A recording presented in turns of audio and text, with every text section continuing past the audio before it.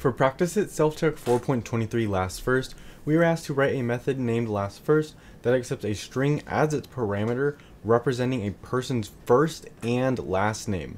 We're given this example right here where we have the method call. And we are also given what the return should be right here. So we know that we have to return a string.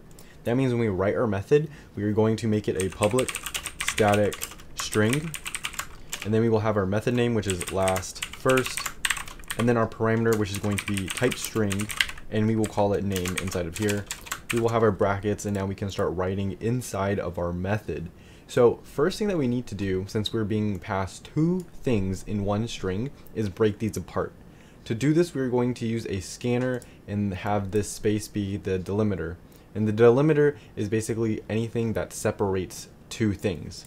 So we will have a scanner and we will call it scan and set it equal to a new scanner which takes the name as a scanner. So we're passing in our string name inside of here.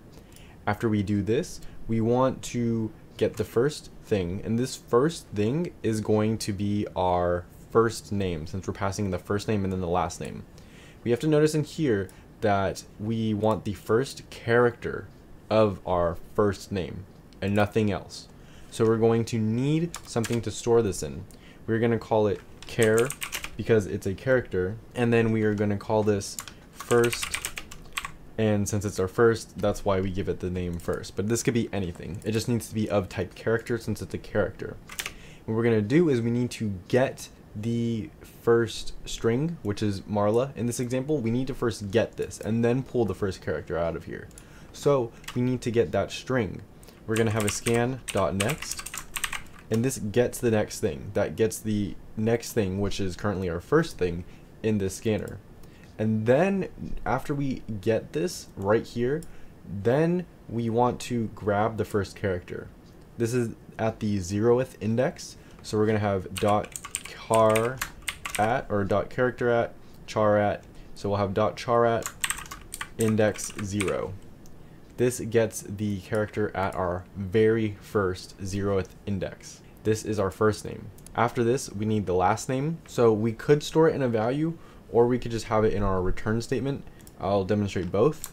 We will have a string and we will call this last to stay consistent and we'll set it equal to scan.next. That way it gets the next value or part, which is singer in this example. And then we just need to return this down here. So to return this, what we're going to do is have a return. We want our last name, so we'll have last. We want a comma in here, so this is going to be a string that we need to type in manually. We have our comma, another plus to add to this, and then we want our first character, which is called first, and then we want a dot.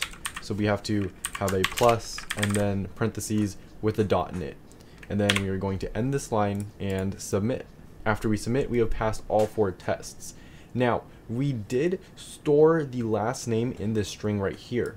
But if we wanted to, we could also just do almost the same return, except instead of calling last, just call scan.next.